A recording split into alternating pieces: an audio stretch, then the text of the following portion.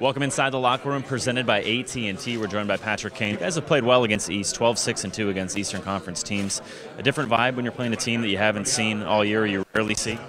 Yeah, I think it's fun. Um, you know, you see um, a lot of teams uh, that you know you're obviously not going to play against a lot once or uh, once at home, once on the road. But um, you know, it seems like these Eastern teams they like to kind of run and gun a little bit more. And uh, um, you know, for us, I think against them. We just kind of want to play good defense, uh, transition the other way, and hopefully um, use our speed and our talent to uh, to take over games. But if you look at the team tonight, they got a lot of skill, a lot of talent, so definitely gonna have to be aware defensively.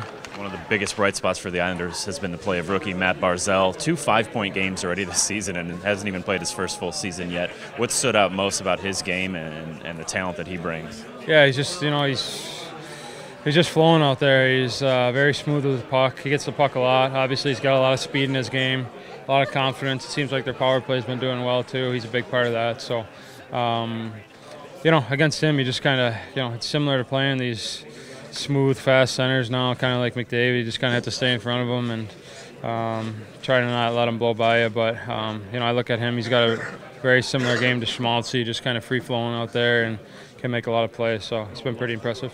That's your look inside the locker room presented by AT&T.